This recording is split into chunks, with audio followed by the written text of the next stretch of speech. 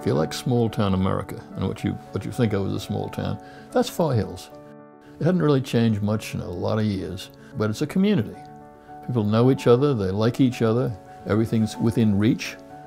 Far Hills really is a laid back place to live.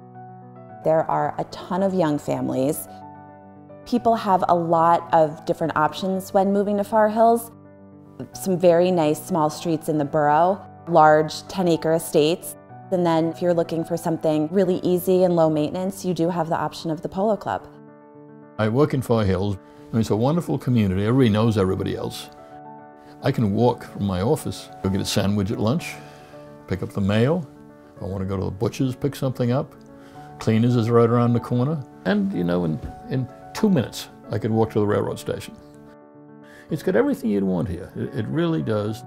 And yet it's got the kind of atmosphere you don't find many other places. The spirit of Far Hills is definitely living with nature, and that was a big draw for us. To have a place like Natirar, for example, huge estate, a lot of historical significance, but the park is open to the public, is really nice to walk and hike and exercise sort of among that. There are a lot of parks here, a lot of farmland. Horses are just part of the tradition here. Probably the biggest event around here is the Far Hills races. I mean, they get thousands and thousands of people to come and have a good time. This is a beautiful area, uh, just to walk through the woods, to walk through the fields, genuinely beautiful. And I think if you know if you're surrounded by beauty, somehow life just seems a bit better.